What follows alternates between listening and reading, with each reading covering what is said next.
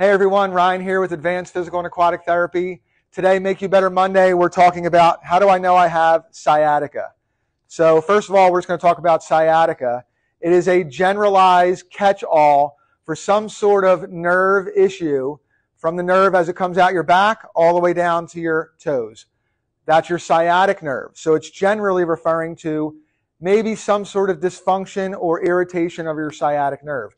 So, it's not very specific, it's non-specific, and we want to think of it in terms of we want to uh, eliminate this heaviness, this pain, this pain that runs maybe from the back of your leg all the way down into that big toe.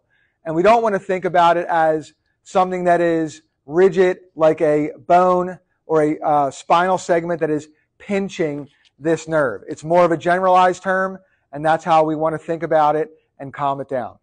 There you have it, guys. Talk to you next time.